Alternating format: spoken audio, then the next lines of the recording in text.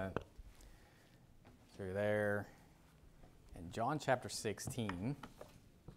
So, actually, John chapter 14, 15, and 16, if you want to know a good passage to see uh, some things about the Holy Ghost or a lot of information about the Holy Ghost, um, these three chapters are great chapters. So you have uh, chapter 14 actually is a great chapter just dealing with the Trinity itself. So if you want to see the details of the hierarchy of the Trinity, chapter 14 is a great chapter there.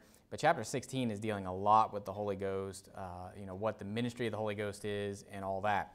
So we already hit on the Father. So we, you know, God the Father. Then we had God the Son. And now we're getting into God the Holy Spirit. So obviously we know that we have the Father, Son, the Holy Ghost. These three are one. You have the Father, the Word, and the Holy Ghost, and these three are one. But like I did in the, the earlier sermons, I want to show you, uh, you know, some places where it talks about the Holy Spirit in the Old Testament. Now, honestly, the Spirit of God is mentioned a lot in the Old Testament. So time would fail me to go to all the places that it mentions it. But go to Genesis 1, and I just want to show you some places here. But actually, the, the term Holy Spirit isn't used that often. Actually, in the entire Bible, it's not used that often, like the term Holy Spirit. Holy Ghost is used a lot, but it's only used in the New Testament. Now, Spirit and Ghost are the same thing.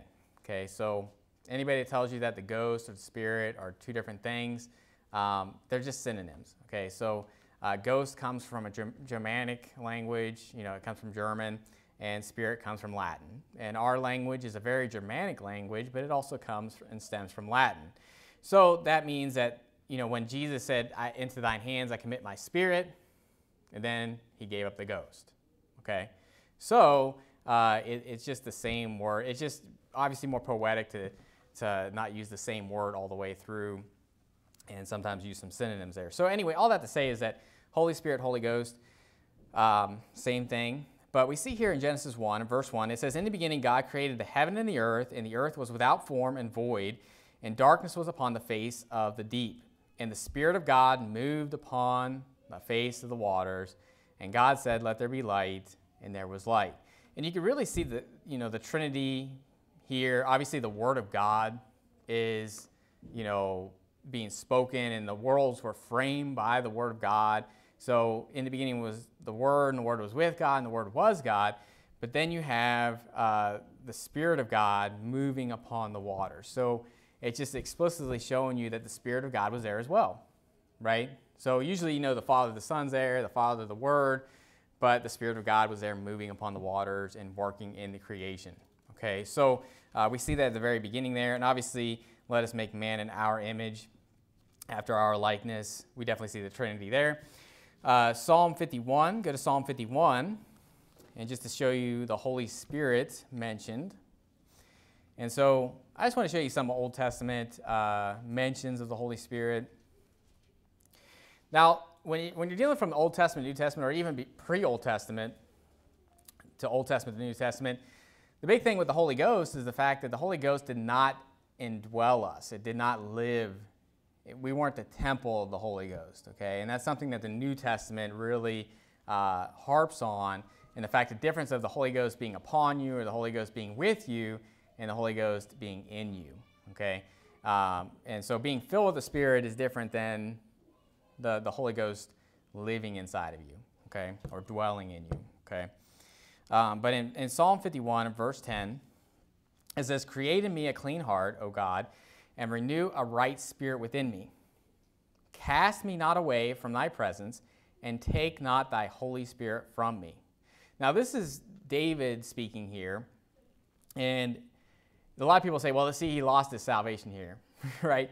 But what you have to understand is the Old Testament, they didn't have the Holy Ghost living inside of them, but they had you know, the opportunity to be filled with the Spirit and to have the Spirit of God upon them. And the Spirit of God left Saul, but that doesn't mean that he wasn't saved or he lost his salvation, right? It just means that obviously, you know, the Spirit of God wasn't coming upon him. He wasn't walking, you know, in the new man. And notice what it says in verse 12. It says, Restore unto me the joy of thy salvation, and upon me with thy, uh, uh and, and uphold me with thy free spirit. So he didn't say, Restore unto me salvation he says, Restore unto me the joy of thy salvation. So there's a difference between that and losing your salvation, or like the Holy Ghost basically meaning like you've lost your salvation, or he's saying, don't make me lose my salvation. That's not what it's saying here. Um, but the Holy Spirit was back then, okay? And I can show you other places in the New Testament where it's talking about, uh, well, spake the Holy Ghost by the mouth of David. So obviously the Holy Ghost was there, speaking by the mouth of David, um, and all that's true. Okay, so, um, and I have other verses I could show you in the Old Testament, but I don't want to belabor that point about, uh, you know, the mention of the Holy Spirit. Honestly, that's the one where it's like very clear, right? I don't think anybody denies that the Spirit of God was in the Old Testament uh, doing things, okay? Now, go to John 14, John 14, and we're really going to be parked in John 14, 15, and 16 uh, to kind of see some attributes of the Holy Ghost. But the first thing to notice about the Holy Ghost is that he is a, his own person, okay? The Holy Ghost is not just this apparition or this attribute uh, of God, okay? The Holy Spirit is his own person, okay? So in John 14 and verse 15, Someone needs to tell those in the mother baby room to maybe calm it down back there. I can hear it through the walls. So, John 14 verse 15, it says, If you love me, keep my commandments, and I will pray the Father, and he shall give you another comforter, that he may abide with you forever. Even the Spirit of truth, whom the world cannot receive, but it seeth him not. Or because it seeth him not, neither knoweth him, but ye know him, for he dwelleth with you and shall be in you. So notice here that we have the he, okay? It's not saying it or, you know, like this entity of some sort, right? Now, sometimes it will use the term it, but sometimes it uses the term it when it's talking about like a baby.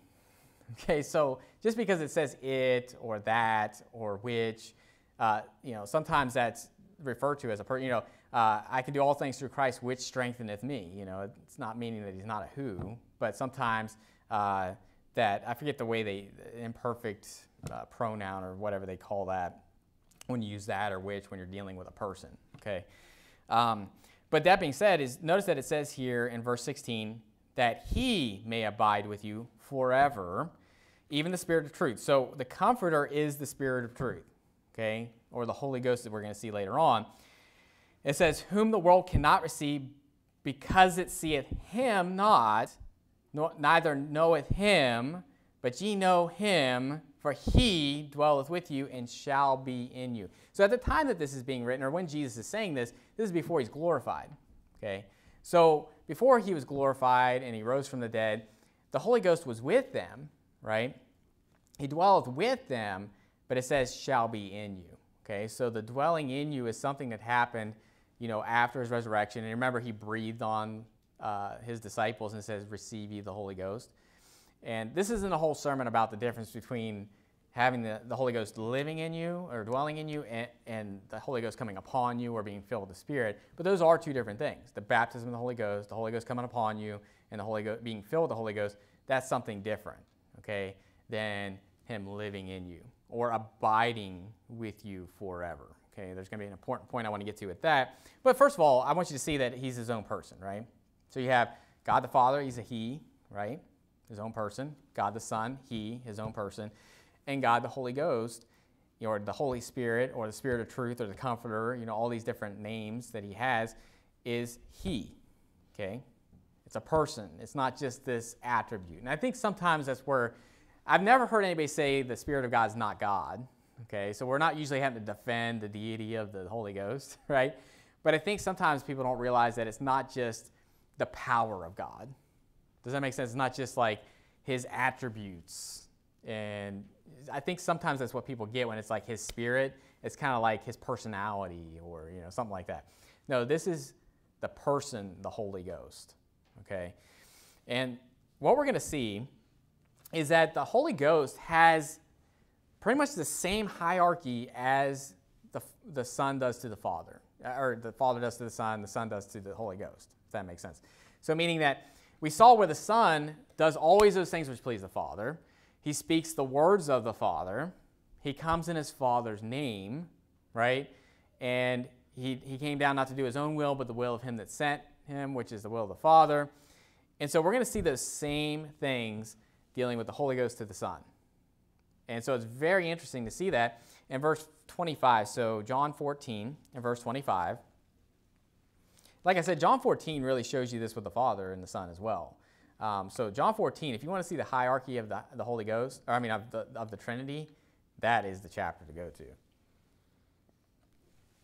In verse 25, there says, These things have I spoken unto you, being yet present with you. But the Comforter, which is the Holy Ghost, whom the Father will send in my name. Sound familiar? It says, He shall teach you all things, and bring all things to your remembrance whatsoever I have said unto you. So remember that Jesus said, I, I came not in my own name, I came in my Father's name, and you receive me not. Another shall come in his own name, him you will receive. So Jesus said, I came in my Father's name, and I do the works in my Father's name. And what's the Holy Ghost doing? The Father sending the Holy Ghost in whose name? Jesus' name. Interesting, isn't it? Especially when you think about this. You ever see the place where it says the Spirit of Christ? That's the Holy Spirit, right? Because you think, well, is that like the, you know, like Jesus' spirit as far as like his, you know, soul spirit, you know, whatever, his attributes? No, it's the Spirit of God. And that's why sometimes you'll see in, in Romans chapter 8, for example, it talks about the Spirit of God being in you. It says, if the Spirit of God not be in you, you're none of his, right? But it says, if the Spirit of Christ be in you, right? And he uses those terms synonymously as far as the Spirit of God, Spirit of Christ. Well, he's coming in the name of Jesus, right? Just as much as Jesus came in the name of the Father. So that same type of uh, hierarchy of the Son to the Holy Ghost happens with the Father to the, to the Son. And it's very interesting how consistent it is. And also, you see here that he shall teach you all things and bring all things to remembrance whatsoever I have said unto you. And Jesus is talking. And we'll get further into that because it's going to be a little more, uh, explained at a little more detail. But we also see here that the Holy Ghost proceeds from the Father, right? So Jesus and the Holy Ghost are coming from the same place, okay? They're God. so um, it, and, uh, go to John, I'm sorry, John chapter 15, verse 26. John chapter 15, verse 26.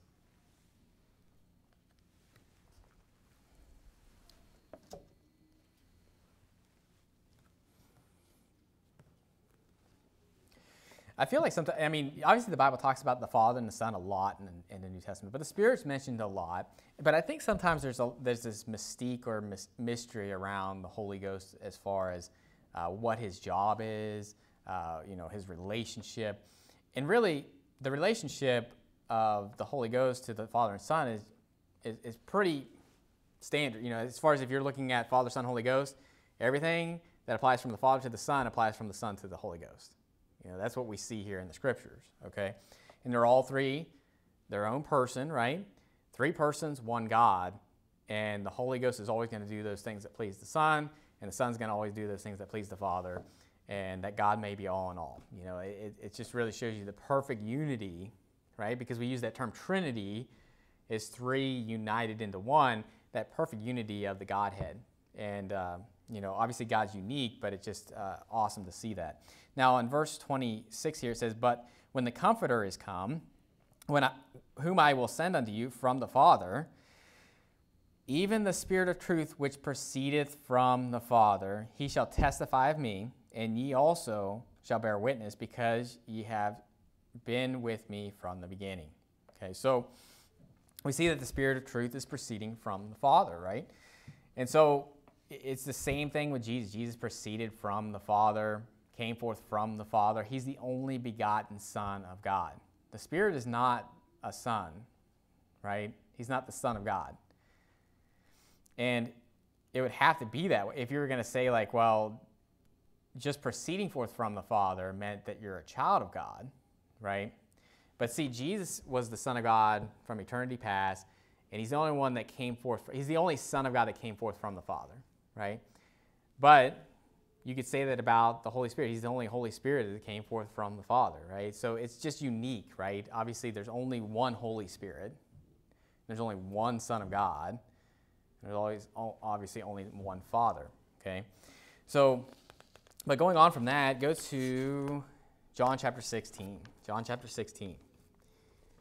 So we see that the Holy Ghost, he's proceeding forth from the Father. He's he's sending the Spirit in Jesus' name, and he's his own person, right? And up to this point, he would only be uh, dwelling with you, he wasn't in you, right? Obviously, in our day and age, right? Obviously, in the New Testament, when Jesus rose from the dead, he uh, gave us the Comforter. And that's what the big deal. You know, you say, what's this big deal about this Comforter coming? You know, why is Jesus making this big deal, right? The Comforter is going to come, and if I don't leave, that He won't come. The big deal is the fact that the Comforter is going to dwell in you, and dwell in you forever. Okay. And I think sometimes, you know, when you when you look at this too, when you look at the Revelation and you see the new heaven, new earth, and you wonder, okay, well, where's the Holy Ghost? Well, I believe He's going to be dwelling in each and every one of us forever. Okay. It doesn't sh- say that we're going to see Him necessarily. Okay. It says we're going to see the Father's face, and obviously we're going to see the Son, but it doesn't say. And, and again, we're talking about things that we may not know. So I'm not saying we won't see the Holy Ghost, right? When we're in that spiritual uh, body and all that stuff that's going on. Who knows? you know, but I'm just telling you what we see in Scripture. But I know this that He's going to be dwelling in us and abiding with us forever. Okay, that much is true. Okay, that's not just till you die. Okay, this is forever. We'll be, you know, the Holy Ghost will be dwelling in us. Okay, and so, but in John chapter 16 and verse 7 here, it says, Nevertheless, I tell you the truth. It is expedient for you that I go away. For if I go not away, the Comforter will not come unto you. But if I depart, I will send him unto you. And when he is come, notice this, he will reprove the world of sin and of righteousness and of judgment. So we see what's the job of the Holy Ghost in the world. Now, obviously, we know what's the, what's the point of his coming. The coming is talking about him abiding in us, uh, you know, receiving the Holy Ghost, that He's going to dwell in us. He's not just going to be dwelling with us, He's going to dwell in us. Okay? That's the, the importance of the coming. But also, when He comes into the world, as far as this in the New Testament, it says He will reprove the world of sin and of righteousness and of judgment. Now, this is a great three point outline. If you ever want to preach a sermon about the Holy Ghost, you know, the three points of His ministry, right? And it just even explains it here. Verse 9 of sin because they believe not on me. Okay? So I believe the Holy Ghost is working in the world. And notice that he's, who's he reproving? Just, you know, saved people, his children, or the world? Okay? So I believe what you're dealing with here are unsaved people. You know, you're dealing with the world. What's the Holy Ghost doing in the world? What's his, his ministry in the world, if you will? He's reproving the world of sin. He's also reproving the world of righteousness because I go to the Father and you see me no more. Okay? And it says in verse 11, of judge, and he reproved the world of judgment because the prince of this world is judged. I have yet many things to say unto you, but you cannot bear them now. Okay? So just one verse to kind of show you what the Holy Ghost would be doing in the world. Uh, go to Acts chapter 7 and verse 51. Acts chapter 7, verse 51. Because I do believe the Holy Ghost has a job when it comes to uh, the work and the ministry in the world. Because you think about God is, is the husbandry, we are his, his, his laborers, right? And obviously we're abiding in the vine and the father's the husbandman, right? And you have that whole dynamic there, but the Spirit is also involved in this, okay? If you don't have the Holy Ghost involved, then you're not going to bring forth fruit, okay? And obviously the Holy Ghost has a job when it comes to salvation, right? Meaning that, uh, you know, uh, not according to works which we have done, but according to his mercy, he saved us uh, not according to the works. Now I'm going to mess that up. I quote this out all the time. Not according to um, works of righteousness which we have done. How does it start? Does it start with not? Not, not by. Is it? Not by works of right. There we go. That's it. not by works of righteousness which we have done, but according to His mercy, He saved us by the washing of regeneration and renewing of the Holy Ghost, which He shed on us, shed on us abundantly through Jesus Christ our Savior.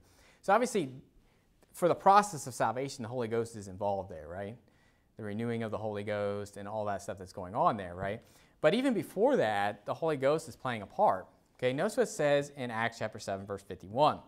Acts chapter 7, verse 51, it says, Ye stiff necked and uncircumcised in heart and ears, ye do always resist the Holy Ghost, as your fathers did, so do ye. So notice that this isn't just New Testament, that the Holy Ghost is working and reproving men of sin, right? because the whole point is, is that these people will not admit that they're wrong, right? And the first step to getting saved is admitting you're a sinner, right? Admitting that for the wages of sin is death, and you know the, that the fact that uh, for all have sinned and come short of the glory of God. There's none righteous, no, not one. That every mouth may be stopped and they may become guilty before God. That's the first step for someone to get saved, right there. And the Holy Ghost is involved in that. And he's basically stating here that you're resisting the Holy Ghost. And as your fathers did, so do ye. So he's basically saying your fathers did it and you're doing it right now. And so the Holy Ghost obviously has that uh, job there. Go to 1 Corinthians chapter 12, verse 3. 1 Corinthians chapter 12, verse 3.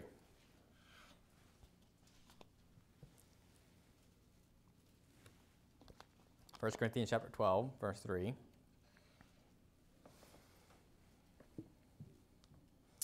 1 Corinthians chapter 12, verse 3, it says, Wherefore I give you to understand that no man speaking by the Spirit of God calleth Jesus accursed, and that no man can say that Jesus is the Lord but by the Holy Ghost.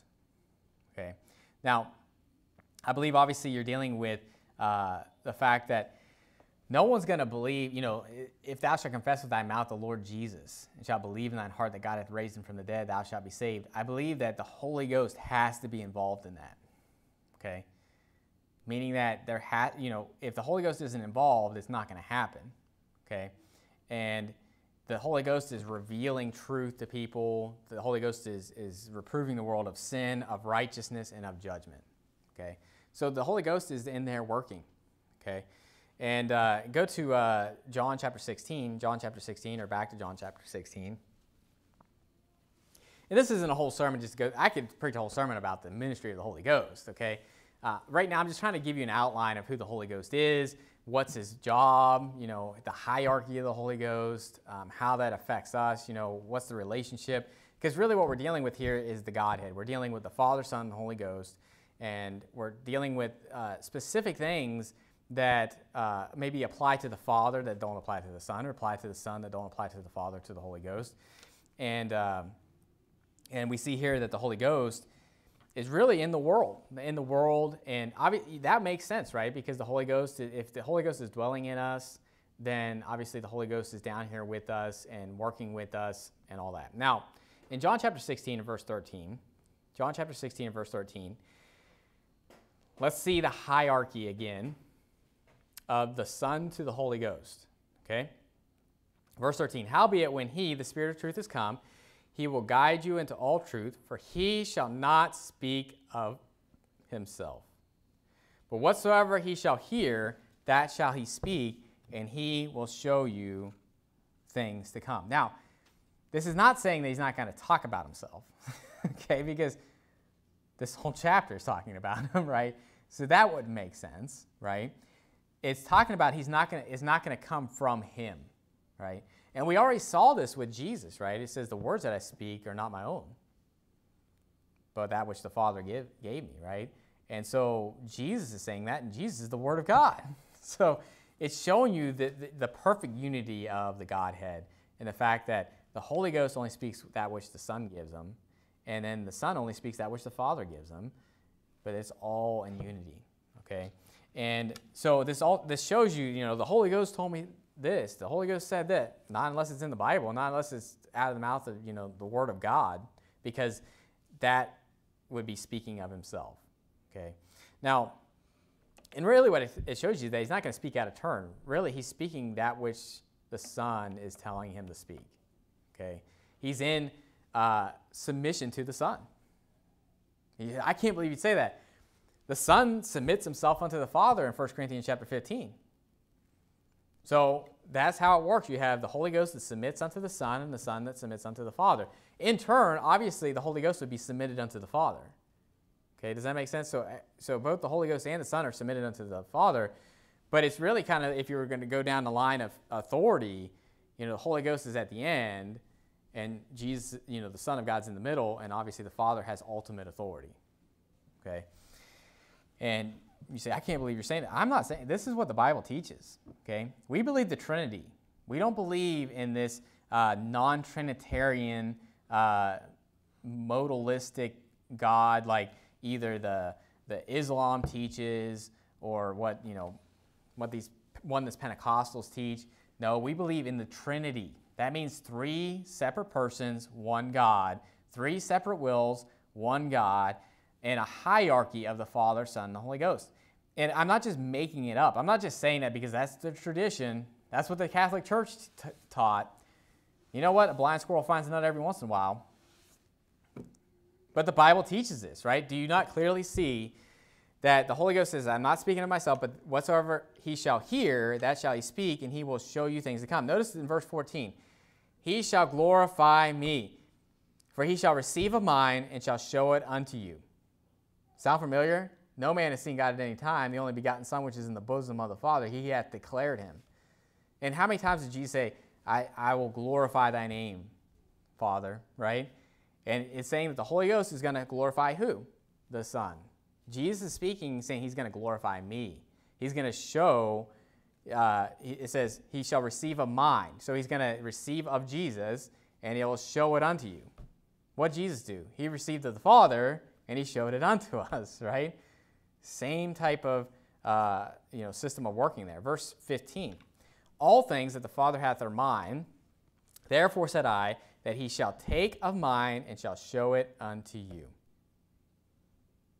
So he's basically saying, everything that the Father has is mine, right? And then I'm going to take all that and I'm going to give it to the Holy Ghost and he's going to show it to you, right? But there's this perfect unity. And you say, well, what if the Holy Ghost didn't do what the Son wanted? It's not going to happen, right? It's just as much as saying, well, what if the Son didn't do what the Father wanted? Not going to happen. You know what the difference is? He's God and he's not sinful, right? He can't break that unity. And, you know, praise God for who he is and his being. And you may not c- comprehend that, and to you it's like, well, everything messes up. Not God. And you know what that shows is that you have a perfect trinity of free will within the Trinity, but no sin and ultimately ultimate subjection you know, to the Father. And it's just a beautiful thing to really see when you see how all that works and how that's never going to be broken. Okay. Now go to um, Matthew chapter 12. Matthew chapter 12. So you say, well, man, you know, when you think of God, the Holy Ghost is kind of getting the tail end of the deal, you know, because he's got like the least amount of authority. Okay. Because if you think about it, right, the Father's kind of ultimate authority. Jesus, you know, obviously is underneath the Father, but he's also getting a lot of praise because of you know what he did on the cross, and just, you know, obviously everybody talks about Jesus and, and all that. And the Holy Ghost is, is pretty much, if you were to look at it, like a servant to the Son as far as how he's doing everything in the Godhead, right? But I want you to see the defense that the Son gives to the Holy Ghost. Okay? Because the Holy Ghost is obviously they're all equal value. I hope you understand this, right? I'm not saying like the, the Holy Ghost is of less value than the Son or the Father, okay? But obviously the roles are different, okay? And the hierarchy of authority goes Father, Son, Holy Ghost, okay? But the Holy Ghost is, is on the bottom of that hierarchy. But notice the defense that Jesus gives to the Holy Ghost, okay? You don't mess with the Holy Ghost, okay? Is what it really comes down to. Notice what it says in verse 31. It says, Wherefore I say unto you, all manner of sin and blasphemy shall be forgiven unto men, but the blasphemy against the Holy Ghost shall not be forgiven unto men. That's intense. Now, notice what he says here. Notice in verse 32 Whosoever speaketh a word against the Son of Man, it shall be forgiven him. But whosoever speaketh against the Holy Ghost, it shall not be forgiven him, neither in this world, neither in the world to come. That's intense. He's basically saying, You can say whatever you want about me. You say something against the Holy Ghost, you're done.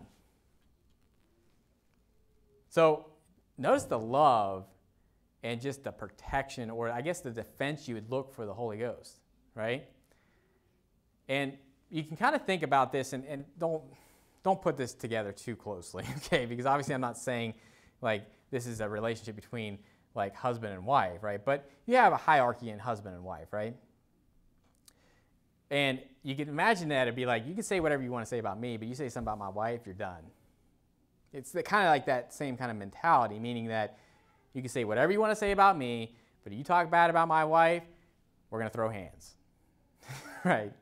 And uh, I'm going to do it in an alley so no one sees me because I'm a pastor. I'm just kidding. but uh, I'm not going to do that, okay?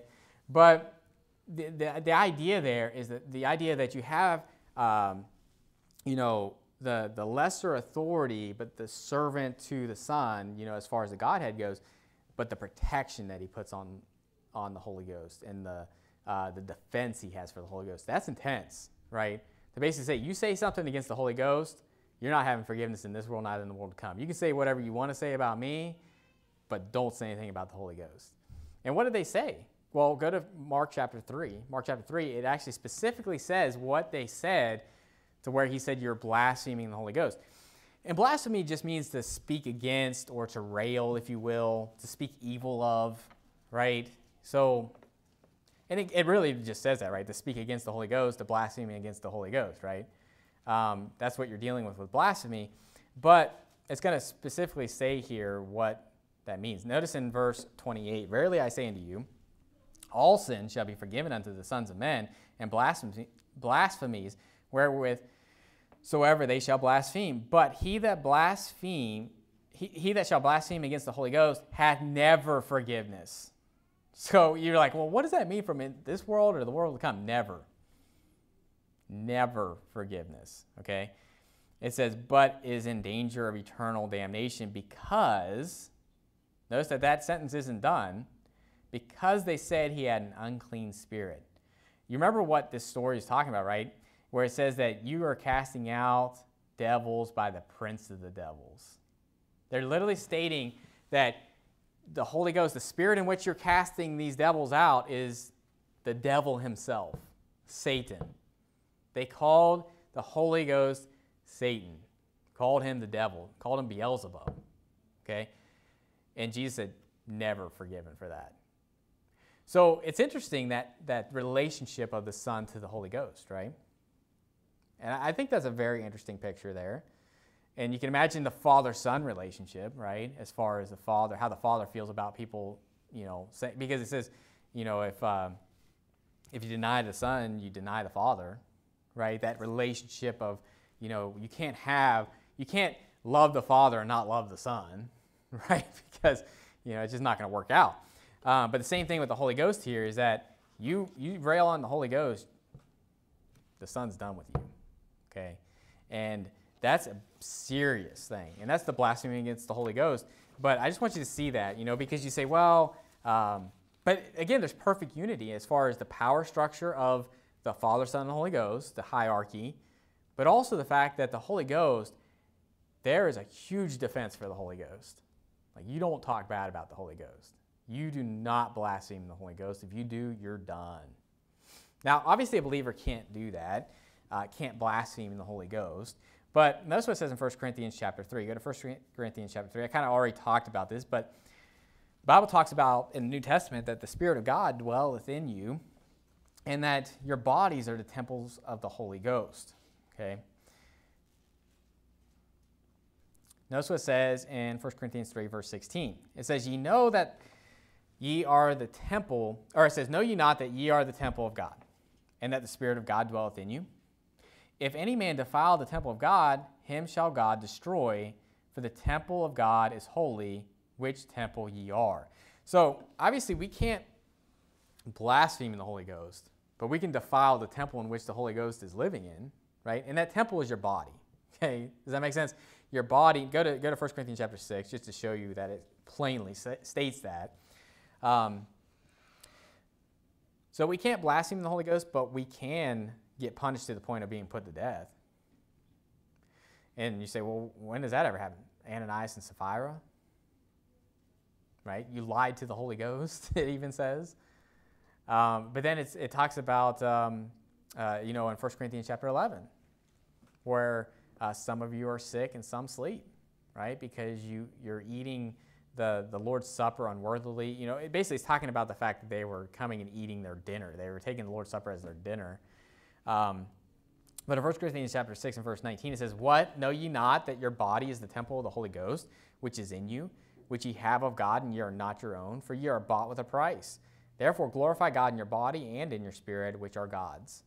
Okay? So your body is the temple of the Holy Ghost. And in Ephesians chapter 4 and verse 30, Ephesians chapter 4 and verse 30, it, we can't blaspheme the Holy Ghost, but we can grieve the Holy Ghost. Okay? So in, in Ephesians chapter 4 and verse 30, it says, And grieve not the Holy Spirit of God, whereby ye are sealed unto the day of redemption. And what, what is that, the day of redemption? The, the, to wit, the redemption of our body. Okay? And it talks about in other places, it talks about the earnest of the Spirit, right? It's like the, if you will, the down payment, you know, it's, it's the, uh, the spirit of adoption, you know, that we have living inside of us. You know, He's renewed our spirit and our soul, but we're still waiting for that body to be renewed and to be adopted. And, uh, and so we see here that, yeah, we, we can't blaspheme the Holy Ghost, but we sure can grieve the Holy Ghost. Okay? And, and so that's something to think about as a believer that in the New Testament, to whom much is given, much is required. Okay? I believe that New Testament believers are held to, to a higher standard when it comes to sanctification. Because we have the Holy Ghost literally living inside of us. Okay? In the Old Testament, the Holy Ghost would be with, them, it would come upon them, you know, like David, and it would even, you know, would uh, you know, help them to pen down, you know, holy men of God spake as they're moved by the Holy Ghost. Obviously, the Holy Ghost was working uh, with these men in the Old Testament and even before the Old Testament. But in the New Testament, you have the Holy Ghost living in you. Okay, that's a big deal. It's a good thing, right? It's obviously something that we would say, man, that's a blessing. They didn't have that back then. But uh, it's also, you know, to whom much is given, much is required because, you know what, now if you sin in that body, then there can be some swift destruction coming. Now, what I want to show you here is something that I believe, and I think that I believe this will help you understand the book of 1 John. Go to 1 John chapter 2. But the Holy Ghost is always abiding with us. Okay? You remember Jesus said that? He says, He shall abide with you forever. Okay? But the Father and Son are not always abiding with us. Okay? This is where you get into abiding in the vine. Okay? Because if he was, then that whole chapter wouldn't make sense in John chapter 15. And some of these other verses I'm going to show you wouldn't make sense either. Okay? What it really comes down to is that your new man, obviously, God, the Father, Son, Holy Ghost are all in that, right? But if you're not walking in it, if you're not abiding in the new man, then you're not abiding in the Father and the Son. Does that make sense? And the Father and Son is not abiding in you. So obviously, truthfully, in your spirit and your soul, the Father, Son, Holy Ghost are in you, right? Christ in you, the hope of glory, all that's true, right? But if you're not walking in the new man, you're not abiding in it. Okay? So there's a difference between it being, you know. So I, hope this doesn't, I hope this isn't getting too deep, okay? But follow me on this. 1 John chapter 2 and verse 27. Remember how I was preaching about knowing doctrine? Okay, so here's some doctrine for you. 1 John chapter 2 and verse 27. It says, But the anointing which ye have received of him abideth in you, and ye need not that any man teach you, but as the same anointing teacheth you of all things, and is truth, and is no lie, and even as it hath taught you, ye shall abide in him. Now, when you know the context here, we're talking about the Father and the Son, you know, ex, you know, he that acknowledges the Son, the same hath the Father. And it talks about if you continue in this, you shall continue in the Father and the Son. And then it goes into this, okay? So it's basically stating that the Holy Ghost, this anointing, is abiding in you. And if you, it says, and even as he hath taught you, you shall abide in him. And I believe you're talking about the Son or the, the Father here, okay? And I'll, I'll explain that because go to verse, uh, chapter 3 and verse 6. Chapter 3 and verse 6. And if you get this, I think you'll, I think you'll find that First John's not that complicated, okay? Because you're going to see some verses here that you're going to be like, what is that talking about? Okay. Verse 6 Whosoever abideth in him sinneth not, and whosoever sinneth hath not seen him, neither known him. Okay. So it says, Whosoever abideth in him sinneth not. Now, it starts off the chapter saying, Behold, what manner of love the Father hath bestowed upon us, that we should be called the sons of God. And then it gets into the fact that, and he was manifested the way to take away our sins, right? Talking about the Son. So you're, you're, the subject is the Father and the Son at this point, right? And it says that whosoever abideth in him sinneth not. Now, if you understand this, that it says later on, Whosoever is born of God doth not commit sin, for his seed remaineth in him, and he cannot sin because he is born of God. Your inner man is sinless. Okay? That means that if you're abiding in the new man, you're not sinning. Okay? And if you're sinning, you're not abiding in the new man. It's really that simple. Okay? If you're sinning, you're in the flesh. And the flesh hath not seen God, neither known him. Okay? Does that make sense? So, that means that if you're walking in the new man, you're abiding in him. Okay? You're abiding in Jesus. You're abiding in the vine. And if you're abiding in the vine, Jesus and, and the Father are one, right? They're, they're, they're abiding together, right? The Father's in the Son, the Son's in the Father, right?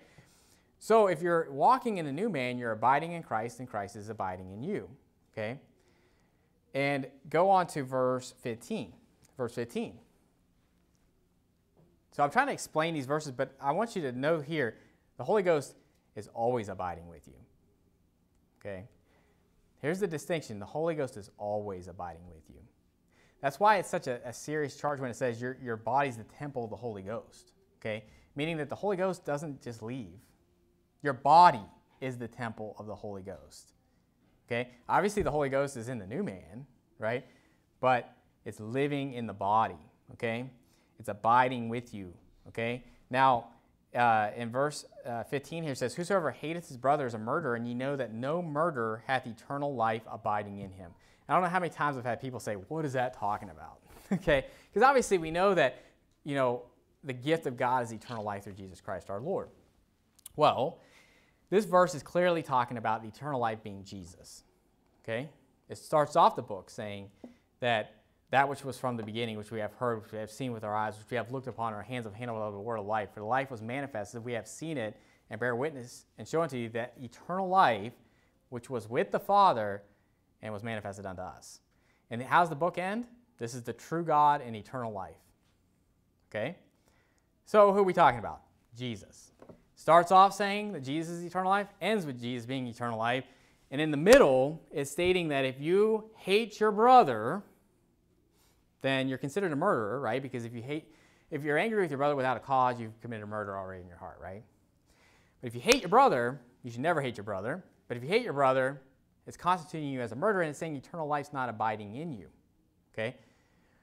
Why? Because you're walking in the flesh. That means that if you hate your brother, you are not walking in the spirit. You're not walking in the new man.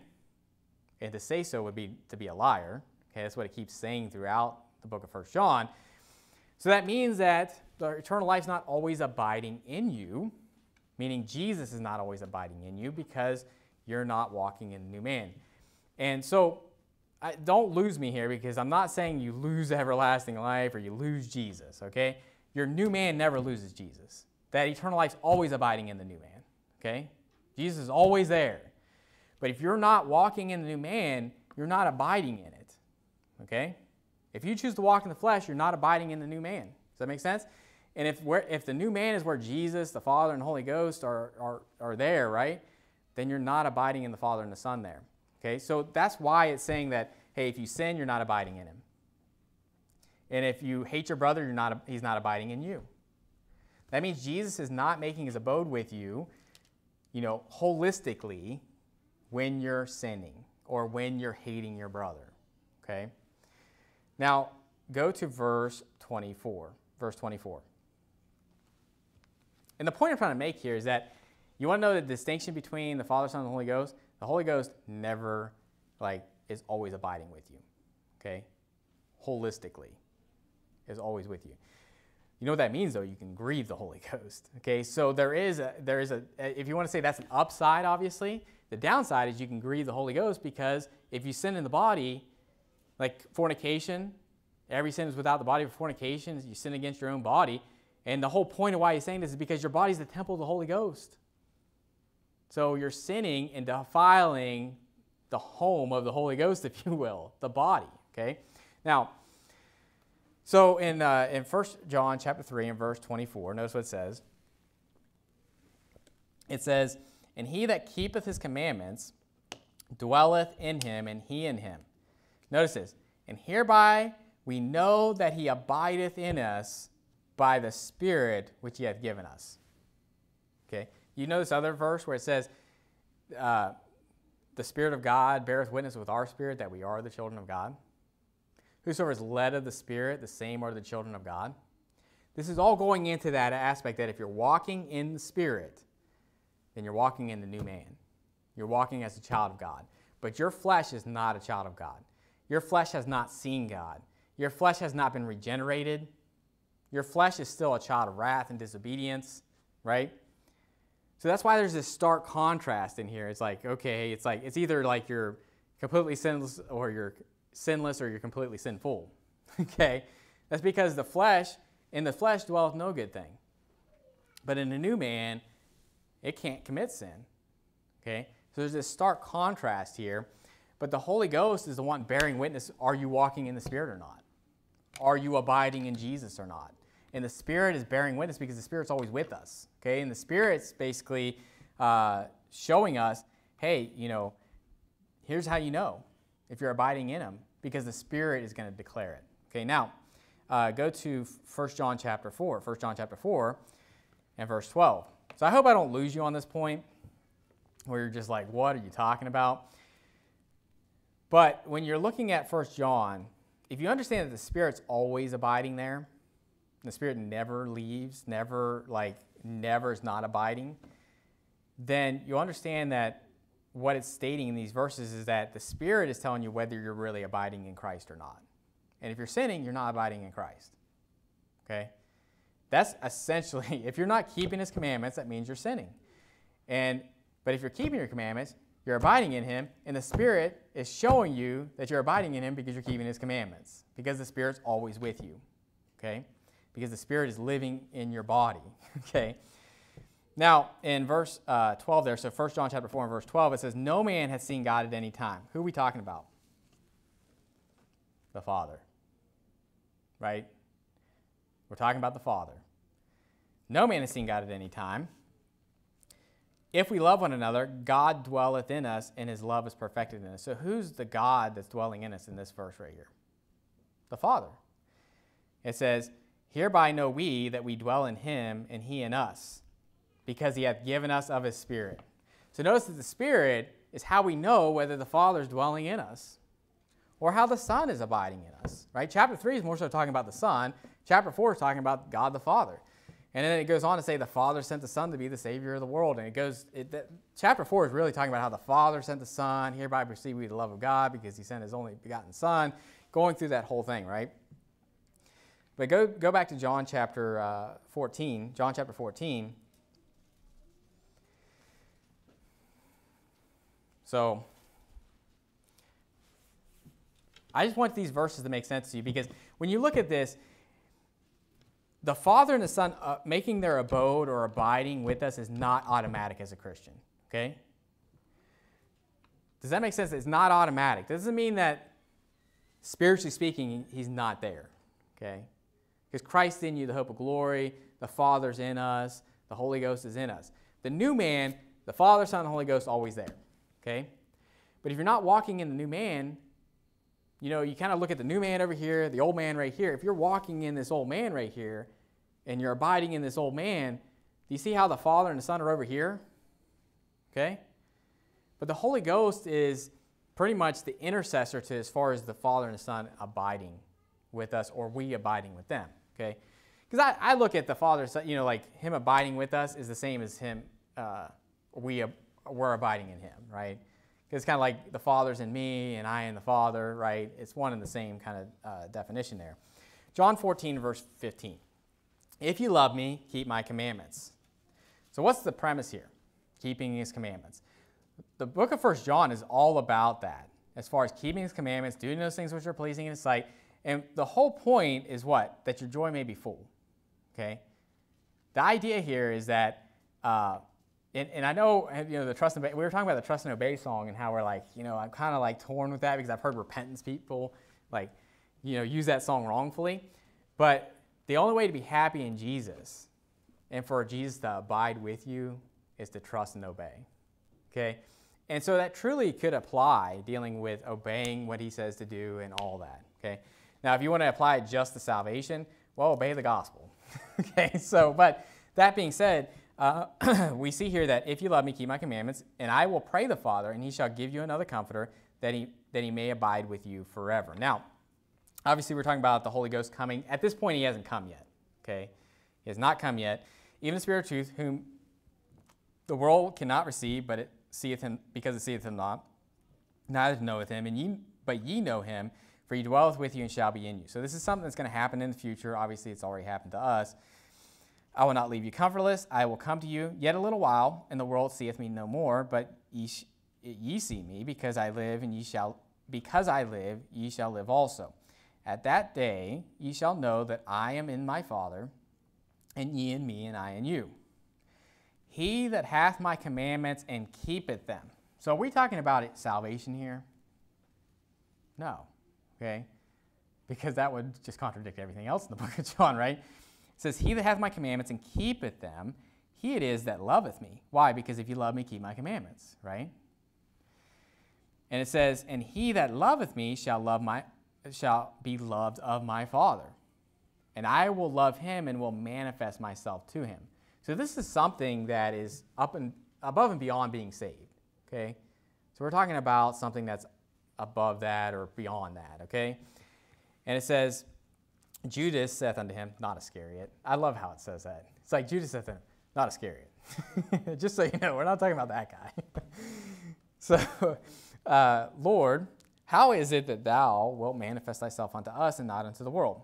Notice this Jesus answered and said unto him, If a man love me, he will keep my words, and my Father will love him, and he will come unto him and make, I'm sorry, we will come unto him and make our abode with him. Okay? So abode, abide, you know, it's just a different tense of the word. Okay? What it's stating here is that if you love me, keep my commandments. And if you keep my commandments, keep my word, I and my Father, we will come unto you and make our abode with you. That's what First John's talking about. But see how the Spirit is always there? The Spirit is always there with you. The Holy Ghost is living in your body. okay? I take that literally. Your body is the temple of the Holy Ghost, your body. Okay? The new man right now is the spirit and the soul, not the body. Okay? One day it will be. One day the body will be the new man too, but not yet. But right now the Holy Ghost is living in your body. Okay? Holistically the Holy Ghost is there. Okay? If you love God, if you if you love Jesus, that means you're going to keep his commandments. And if you're keeping his commandments, the Father and the Son are going to come and make their abode with you. Okay? You want another verse on this? Go to Revelation chapter 3. Revelation chapter 3. I don't know if I'm going to get to my last point, but we'll see. last point is kind of a bonus anyway. So um, I know this is deep, but you, you say, what's the distinction between the, the, the Father, Son, and the Holy Ghost? Okay? Well, the big distinction I see with the Holy Ghost in the New Testament here is the fact that the Holy Ghost is literally always abiding with us. Okay? Now, spiritually speaking, obviously the Father and the Son are always there. Okay? But if we're not abiding in that, then we're not always abiding in the Father and the Son. Okay? But we can't get away from the Spirit. Now, whether you want to take that as good or bad, that depends on how you live, right? Because if you defile the, the temple of God, then that's a bad thing. But if, you, if you're trying to live for Christ, just know the Holy Ghost is always abiding with you. Okay? And, and here's the thing: if you're abiding, if you're abiding in, uh, if you're walking in the Spirit, guess what? The Father and the Son are there too. Okay, there is a distinction. Okay, so this idea of like, you know, that it's all one person. How do you answer those verses where it's talking about the fact that you'll know that the Father or the Son is abiding in you by the Spirit which He hath given us? Right. The Spirit is telling us that they are abiding with us or we're abiding in them. And it's always based on the fact of are you sinning? Are you keeping the commandments? Are you hating your brother? Right? And it's really simple. If you do what he tells you to do, you're abiding in him. Okay? That's simple. But if you're breaking his commandments, you're not abiding in him and he's not abiding in you. And except you abide in the vine, you shall you, you can do nothing, right? You can't bear fruit if you're not abiding in the vine. So that means if uh, was it brother Dave that won somebody today uh, out soul winning? Guess what? the Father, Son, and the Holy Ghost, you were abiding in the Father and the Son, and the Son was, and the Father was abiding in you. Simple, right? But, you know, if David were to, you know, disobey his parents and, you know, in the moment that he's like not honoring his father and mother, and I'm not, I don't mean to like pull you into like you thought I was just going to talk good about you, right? but if he was just going to dishonor his father and mother, you see how the father and son's not abiding in that. Okay? But what's he doing? He's grieving the Holy Ghost. Okay? Now, Romans, uh, Romans, Revelation chapter 3 and verse 19.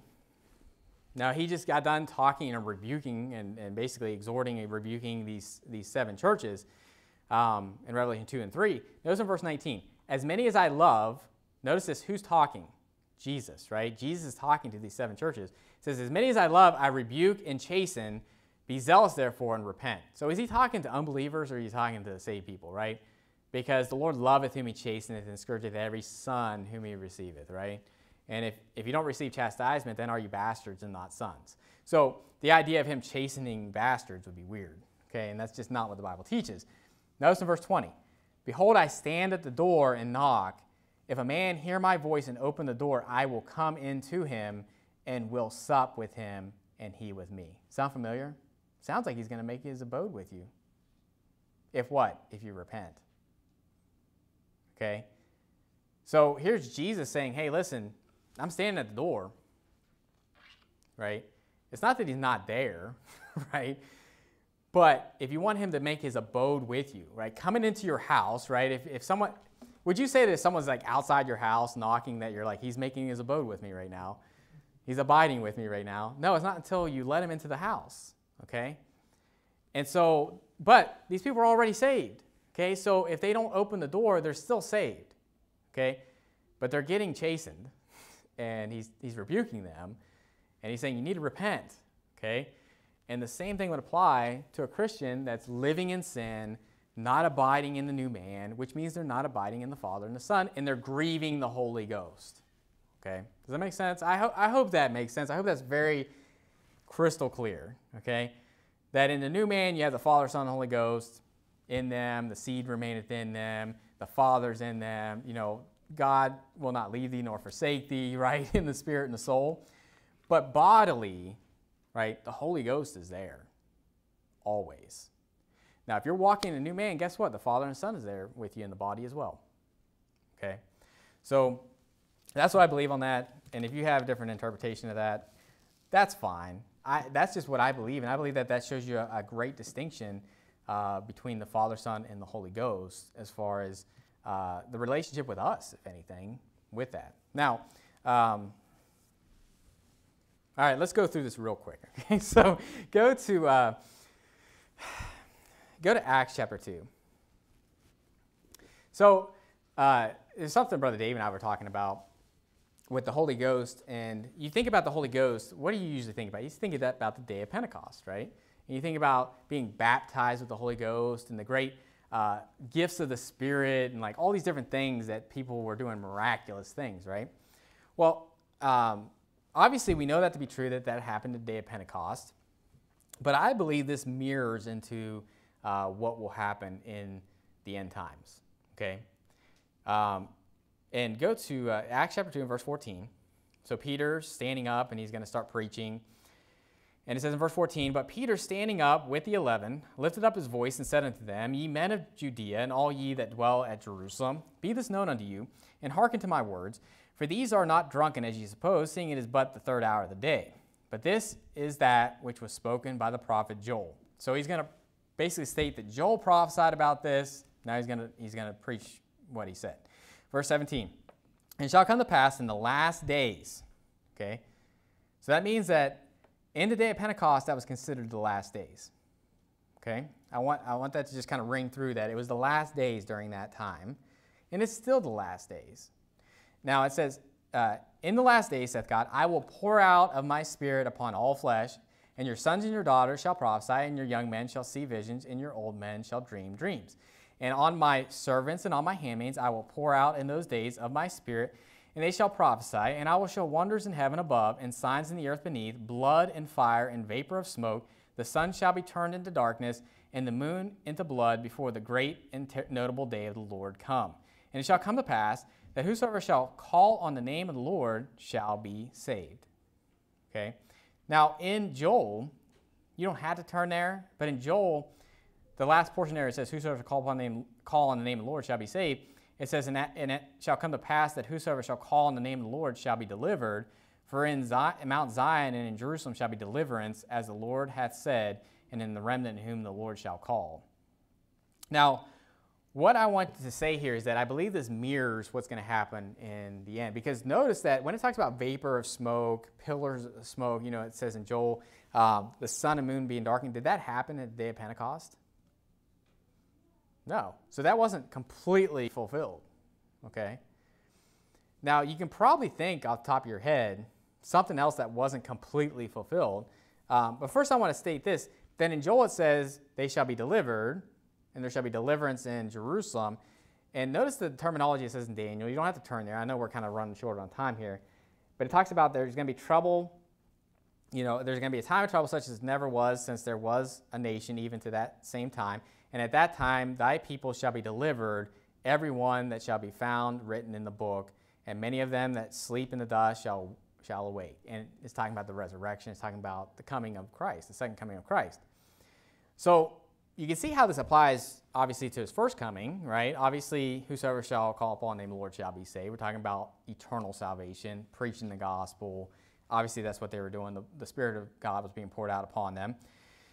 But how that mirrors to the end times. Now, go to Malachi chapter 4. Malachi chapter 4, because this prophecy, because what I'm trying to say here is that Joel, I believe, is dual, meaning that it's talking about his first coming, but it's definitely talking about his second coming too, right? Actually, when you read Joel 2, you're mostly thinking probably about that second coming, right? The sun and moon being darkened, you know, and the fact that whosoever shall call upon the name of the Lord shall be delivered. And what we're going to see here is how that mirrors in whosoever, shall endure unto the end, shall, the same shall be saved. And the idea of being delivered from what? Physical death. Okay? So in uh, Malachi chapter 4 and verse 5, it says, Behold, I will send you Elijah the prophet before the coming of the great and dreadful day of the Lord. Sound familiar? Because isn't it what, what it say? It says, The sun and moon shall be darkened before the great and notable day of the Lord come, right? And it says, and, and he shall turn the heart of the fathers to the children, and the heart of the children to their fathers, lest I come and smite the earth with a curse. So, this clearly, you know, Jesus is saying this is being fulfilled with John the Baptist, right? Because in Luke 1 17, it says, And he shall go before him in the spirit and power of Elias to turn the hearts of the fathers to the children, and in disobedience to the wisdom of the just, to make ready a people prepared for the Lord. So it's, it's pulling from that, saying, hey, this is being fulfilled here. But guess what? There is an ultimate fulfillment of that passage. Okay? Revelation chapter 11, Revelation chapter 11, meaning Elijah, the prophet, the man himself, is going to come before the great and notable day of the Lord. The great and terrible day of the Lord. Does that make sense? Like, John the Baptist came in the spirit and power of Elijah, and he's fulfilling that scripture, you know, in part there. But the ultimate fulfillment of that scripture is when Elijah, the man himself, is coming. Okay? And I, I, I, think people will say, well, is it Moses and Elijah or is it Elijah and Enoch? I don't think anybody disputes that it's Elijah. I'm sure there's somebody. Okay? But I would say most everybody says that Elijah is one of them. Okay? And in verse, 11, uh, verse 3, so Revelation chapter 3, 11, verse 3, it says, And I will give power unto my two witnesses, and they shall prophesy a thousand two hundred and threescore days clothed in sackcloth. Now go down to verse 6. There's going to be these two men that are going to prophesy for three and a half years. Okay? 1260 days, three and a half. Three and a half years, 42 months, however you want to say it. Notice in verse 6 These have power to shut heaven that it rain not. Notice this in the days of their prophecy. You know what that's saying? Is that they prophesied in days past, right? In the days of their prophecy, they had power to shut heaven that it rain not. And even in James chapter 5, it says that Elijah prayed earnestly that it might not rain. And rained for how long? Three and a half years. Three years, six months. You know what that is? 1,260 days, right? 1,260 days, 42 months. A time times and half a time. So, if you know when this happens, you know when this happens? At the abomination of desolation. When, eh, you know, the, the court's being trodden underfoot by the Gentiles, that's when that starts. You know when that is? Before the great and terrible day of the Lord. That Elijah the prophet's going to come. The man himself, right? In the days of his prophecy. We're, talking, we're not talking about John the Baptist We're not talking about something being born and being in the spirit and power of Elijah. We're talking about Elijah the man. Okay? So that being said, when you're dealing with Joel, and it's saying that the Spirit of God is going to be poured out upon them, and that basically there's going to be all these wonders, I believe, and listen, I could be wrong on this, okay? I believe that just as much as there was all this spiritual power that was being done with God's people at the day of Pentecost, how much more will it be done in the end times? I mean, think about all the things that have happened in the Bible, right? All the events that have happened in the Bible. Would there not be a more, you know, needed spot where the Holy Ghost is working with God's people than at that time? When we're being like mowed down and trying, people are trying to kill us and we're trying to preach the gospel to every creature, you know, before the end. Okay? Now, to give you some proof on that, I know I'm kind of running late here, but I, I just want to put this out here. Okay, go to, go to Luke chapter 21. Luke chapter 21. So there's that. There's the mirroring of Joel 2 no one would question that part of that uh, information that, that Paul, or I'm sorry, Peter was preaching there has not happened yet, right? Except for preterists. I guess preterists would be like, well, I guess the sun and moon was darkened, and, you know, like that actually happened back then. Nowhere in the New Testament does it say that happened. It didn't say that it happened on the day of Pentecost. It just talked about people being filled with the Spirit, you know, being baptized with the Holy Ghost, if you will, and them preaching the gospel and getting people saved. Okay, that definitely happened. But I believe that's also going to happen in a special way, if you will, a special outpouring, if you will, during the end times. And notice in Luke 21, verse 10. Luke 21, verse 10, it says, And then said he unto them, Nation shall rise against nation, and kingdom against kingdom. And great earthquakes shall be in divers places, and famines, and pestilences, and fearful sights, and great signs shall there be from heaven. Okay? So sounds familiar the beginning of sorrows. You see a lot of this stuff, right? That it's repeated in Mark 13, Matthew 24, right? But notice in verse 12 here. But before all these, okay? So what he's about to say happens way before the beginning of sorrows, before any of that stuff, right? So I believe he's specifically talking about the people that he's literally talking to, the disciples he's talking to at that time. It says, there shall, shall they lay hands on you and persecute you and deliver you up to the synagogues and into prisons, being brought before kings and rulers for my name's sake, and it shall turn to you for a testimony. Settle it therefore in your hearts, not to meditate before what ye shall answer, for I will give you a mouth and wisdom which all your adver- adversaries shall not be able to gainsay nor resist. Now, what I'm about to get to is the fact that when it's talking about this, it's talking about the Holy Ghost is basically going to tell you, you know, basically not tell, I don't want to say that like audibly tell you, but basically he's going to give you a mouth or give you what to say, okay?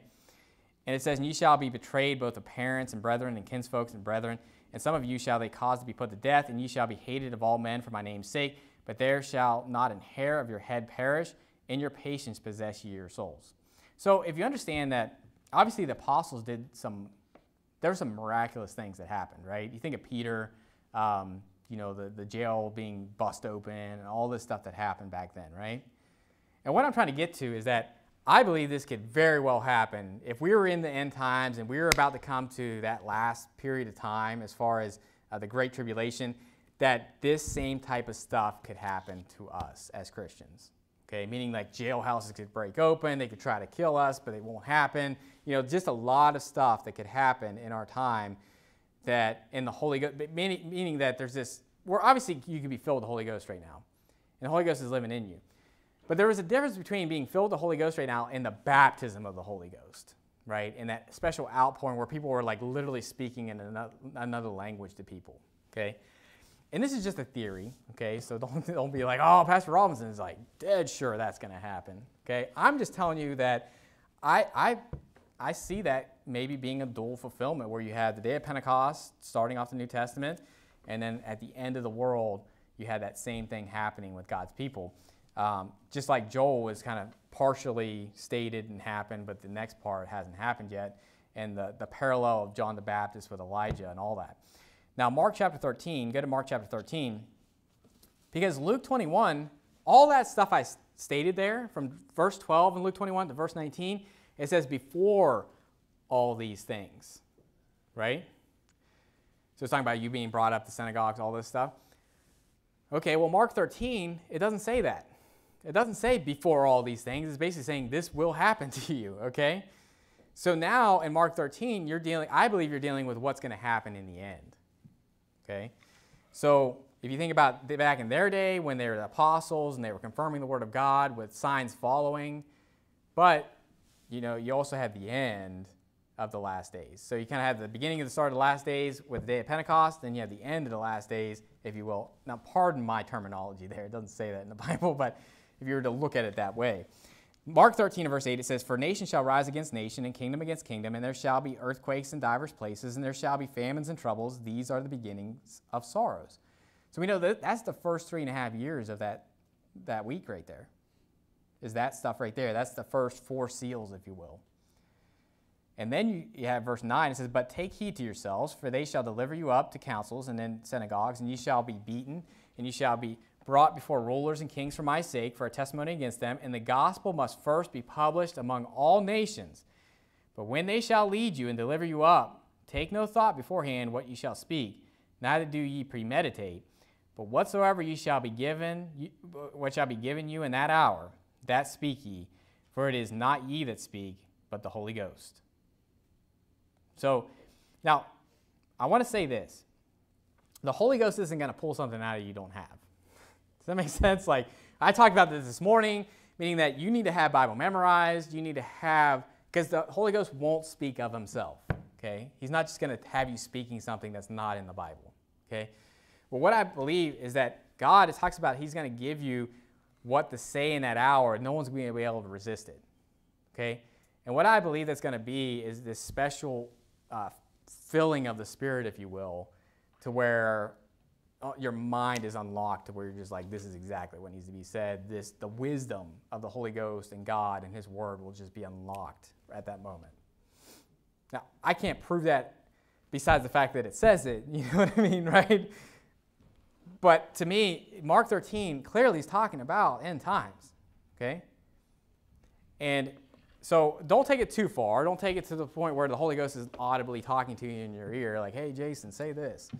I'm not saying that. But what I'm saying is that I believe that there's going to be, like the, the apostles that stood up and just said, we ought to obey God rather than men, you know, that what to say, the words to say as far as like God's word is going to be just put into your mind as far as bringing back to remembrance all those things. And no one's going to be able to gainsay it nor resist it. So I think that's interesting as far as the Holy Ghost goes, as far as how that, that could affect us in the future. Um, but, and, and you say, you say what, do, what do you really mean by that? I believe it's magnified, right? This happens to us now, right? You go out soul winning and, and you're thinking, you know, a verse will pop into your mind. But I believe that this will be magnified to the nth degree, okay? That the Holy Ghost is on upon you so much that it's going to be like Stephen. You know, they're going to behold, behold your face as if you're an angel. You know, like that's how magnified it will be. Like they won't be able to gainsay what you're. I mean, all the stuff that you've ever read in the Bible and everything that you've ever memorized will come to mind. And not only that, but you'll know how to discern it. Like just, just a kind of a, just opening up your mind. The Holy Ghost is just using you as much as He can. Okay, and I believe the Bible's teaching that. Okay, they did it with the apostles. I believe He could do it again in the end times. And that's where the Holy Ghost is stepping in, you know. And so it's a beautiful thing, obviously, to see that. I know I went way too far with the sermon, way too long, but uh, just some exciting stuff. And maybe I should have done that in two sermons. But let's end with a word of prayer. Dear Heavenly Father, we thank you for today, and thank you for the soul that was saved today, and just pray that you be with us throughout the rest of this week. And Lord, uh, we just uh, love you for everything that you've done for us, and we thank you for your teachings of the Trinity, the Godhead, and Lord, just uh, the Father, Son, Holy Ghost, that hierarchy, and just showing us all that information about who you are and, and just how beautifully that works together. And Lord, we love you. I pray else in Jesus Christ's name. Amen.